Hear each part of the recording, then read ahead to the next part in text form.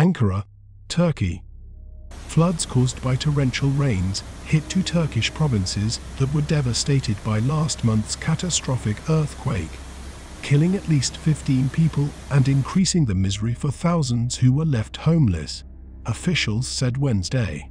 Suleiman Soylu, the interior minister, said rescue workers were still looking for five persons who had been reported missing in three different places. According to Soylu, two more people perished in the nearby Adiyaman province, and 12 people perished in the floods in the southeasterly province of Sanliurfa. At Adiyaman, people perished as floodwaters carried away a container home that was housing an earthquake survivor family. According to Turkey's emergency management organization, the rescue operations in each of the two provinces involved more than a dozen expert divers.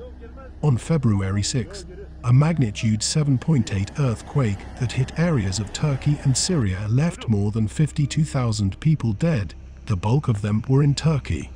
In Turkey, more than 200,000 structures either fell down or suffered significant damage. Don't forget to like if you found this video interesting. Also subscribe to the channel and click the bell icon.